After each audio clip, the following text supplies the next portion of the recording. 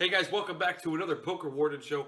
I am Dave, I'm the Poker Worden, and I'm here to bring you all your recaps, your updates, and your previews of the action happening at this year's World Series of Poker.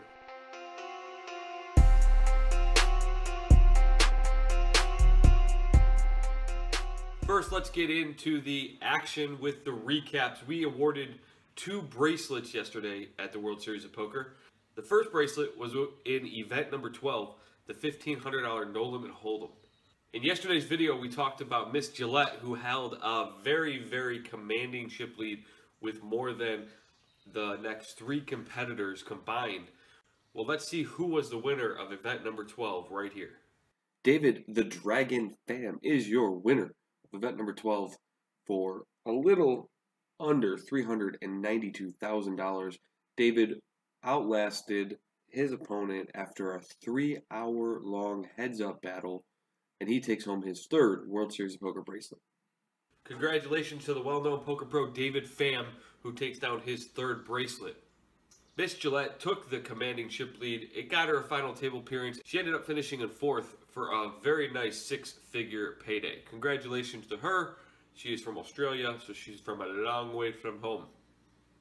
That was supposed to be an Australian accent, but I guess it wasn't because I don't know how to do an Australian accent. But hey, what are you going to do? So congratulations to Mr. Pham for his third bracelet. Some other notables who cashed in Event 12 was Phil Collins in 19th place, Mike Sexton in 26th place, as well as Lonnie Harward in 74th. Next up is event number 13, which is the $1,500 no limit single draw deuce to seven tournament. We talked about yesterday, we're down to the final six players. Bernard Lee was in search of his first bracelet. So let's see if he had a chance to get it. Here is your winner from event number 13. Well, the three peats continue as Frank Kassela outlasted Bernard Lee to win the No Limit Deuce to Seven single draw tournament. Frank Kassela outlasted Bernard Lee in a three hour heads up match. Congratulations to Frank on his third World Series of Poker bracelet, and he takes home a little over $89,000 for the win. So it looks like Bernard Lee has to settle for second place. Uh, it was a well, hard fought battle. Again, they lasted over three hours in heads up play. This actually marks the third time that in a deuce to seven tournament, Bernard Lee has finished in the top 10. So congratulations to him with his runner up. Jared Bleznick, who we talked about yesterday, actually came in as a short stack, but he finished in fifth place. But his prediction of making the final table after level 3, he probably cashed in on those side bets that he made. So congratulations to him and all the other final table participants in event number 13. So that's it for our recaps. We had two bracelets awarded yesterday. Congratulations to David Pham and also to Frank Kassela, who each won their third poker bracelet. So let's move on to our updates. Event number 14, which is the $1,500 horse tournament, started today with a little over 160 players, and by the end of day two had whittled them down to 18. Here are your chip leaders from the end of day two of the horse tournament. Here are the final 18 remaining in event number 14, the horse tournament. Some multi bracelet winners are still in the field, including last year's winner of this same event, Ian Johns. Some other notables are David Baker, David Singer, Max Pescatori, and one time Player of the Year runner up Brandon Shack Harris. All remaining 18 will come back today at noon and play down to a winner. Each player is guaranteed a little over $5,800 right now for their cash. Some notables who finished in the money but did not bag were Daniel Negreanu and Jason Mercier, who each earned a min cash. Mike Gorodinsky, who was a previous winner of the $50,000 Players Championship, finished in 50th, and Marco Johnson finished in 32nd. So congratulations to everyone who's still in the tournament and good luck today as you go for your bracelet.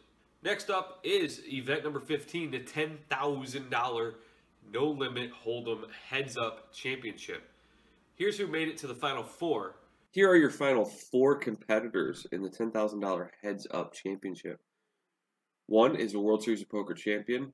Another finished runner-up in this event last year. And the other two are well-known high stakes pros. Each remaining player is guaranteed a little over $112,000, but they're fighting for the heads up title and a little over 336,000. The matches will start today at 3 p.m. with Ryan Riess and John Smith, And then the second match will take place right after that, and then they'll play the heads up battle for the championship when two winners are crowned. Some other notables who cashed but failed to make it through the day were Dan Smith, Olivier Busquet, and Ryan Fee, who was well known for his partnership with Doug Polk and for starting Upswing Poker. Each of the remaining four has already won five matches, but they need to win two more matches to win the 336,000 and the coveted bracelet. Next up is event number 16. I wish I had a drum roll or I wish I had some like, you know, fireworks, but I'm not too good with the, you know, the editing stuff yet. Uh, but this event was the first event of the 2017 World Series of Poker that outpaced last year's numbers. In fact, it didn't just outpace it by a little bit, it outpaced it by almost 300. So the $1,500 six-handed, who said six-handed play wasn't dead and wasn't fun?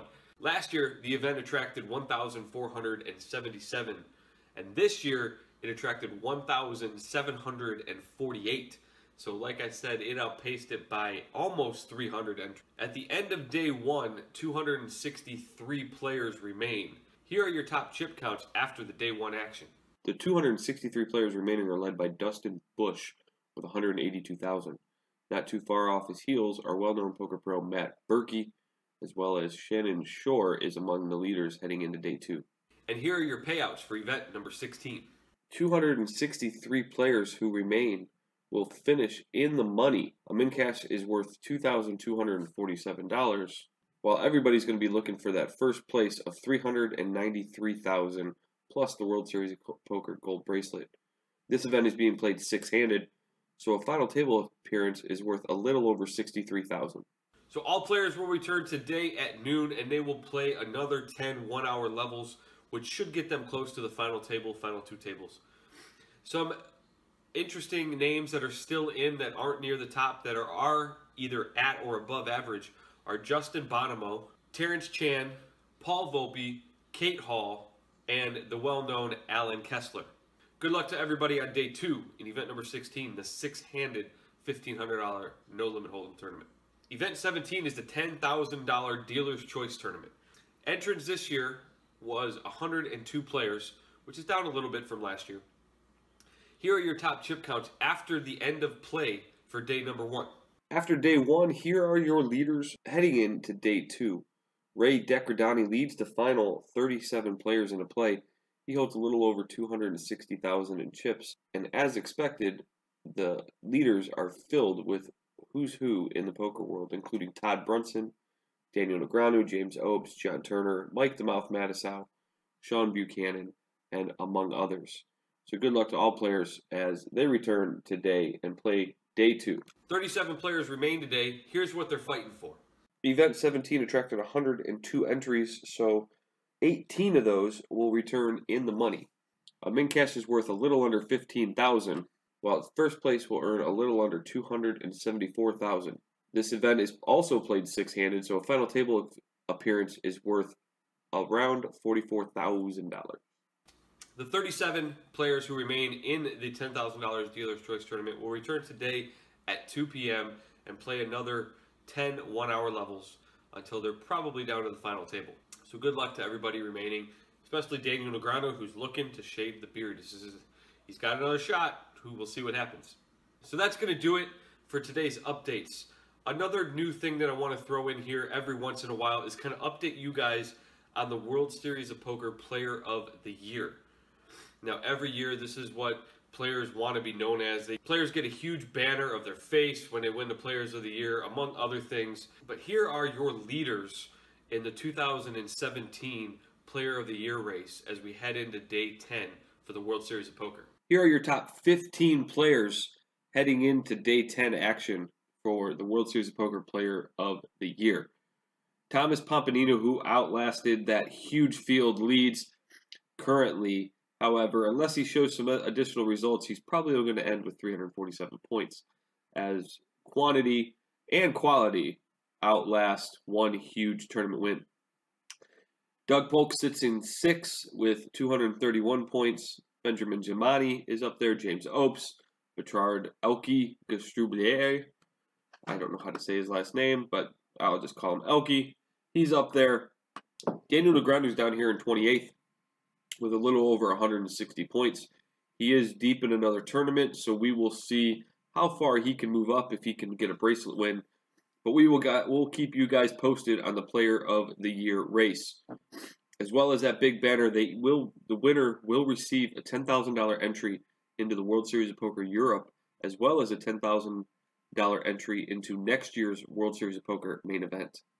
So good luck to everybody in the Player of the Year race. It's still early. There's still a good five weeks left of action. So that's it for our updates. Let's check the calendar and see what's coming into action today at the World Series Poker. So today is Friday, June 9th. Focus, focus, focus. There we go. today we have the $565 PLO, and then we also have the new $365 buy-in, the Giant. So event 18 is your $565 buy-in PLO tournament. This actually boasts an unlimited re-entry option with the two starting flights. Flight 1 is at 11 and Flight 2 is actually at 4 p.m., which is a little bit later than the 3 p.m. normal start for the second um, tournament of the day. Last year, this event attracted nearly 2,500 entries and actually set a record for being the largest live non-Hold'em event. Last year, this event was won by Ryan LaPlante for a little over $190,000. The day is scheduled for 18 30 minute levels, and on days two and three, those levels will move back to 60 minutes. So we'll see if this event can outpace last year's. Well, we all know PLO is fun, so why not get in there? Interesting thing to note as well is a couple people actually last year re-entered this event over seven times. So we'll see who is the notorious re-enterer in this year's tournament. And is it going to be seven? Is it going to be eight? Who knows? Good luck to everybody who is playing the PLO tournament today. So follow along on Twitter, PokerNews.com, and World Series of Poker to keep up to date on what's going on with event number 18. Event number 19 is a new tournament for the 2017 World Series of Poker. It's kind of, if you're familiar with Poker Stars, uh, it's more like their phase tournaments. Every Friday at 7 p.m., it's a $365 buy-in tournament. You get 20,000 in chips, so chip value, good. Structure, maybe okay, but the blind levels are fast. This tournament, you start with 20,000 in chips, and on day one, blind levels are 20 minutes long. Play is scheduled for 18 levels, or until 10 remain, whichever comes first. And the top 15% of each field will cash. So you will cash in the tournament if you play today. The individuals who bag and go on to day two will come back on July 8th to play day two and day three. On days two and three, blind levels move up to 40 minutes, and all remaining cash that wasn't handed out from day ones gets combined into day two, kind of like they do with the Colossus and they'll hand them out in a payout structure that fits the number of players that remain.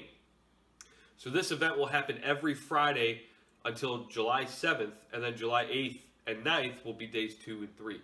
It's kind of a new interesting structure. It kind of reminds me of the phase tournaments that are on PokerStars.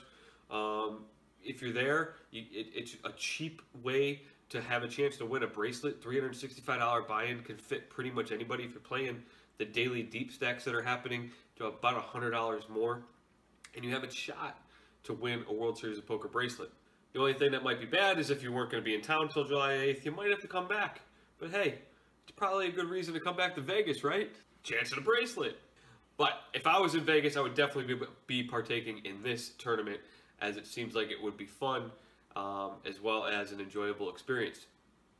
So we'll see how the first flight or the first tournament, first phase of the Giants works out today. Again, this tournament starts at 7 p.m. Vegas time, so stay tuned for that. So guys, thank you guys for watching another update video from the Poker Worden. I like doing these. These seem to be fun, and I hope you guys are getting some good information and following along with all the action. Please give my video a thumbs up, as well as subscribe to my channel so you get notified of all my future videos. And if you have any comments or questions, please feel free to leave that information down below. Also, if you want to see anything added, if you think I, I can change something, or if you think that you want me to cover something else that I'm not covering right now, let me know. I'll make sure to try it out for you. But until next time, guys, I hope you guys have a wonderful day. And until then, peace out, everybody.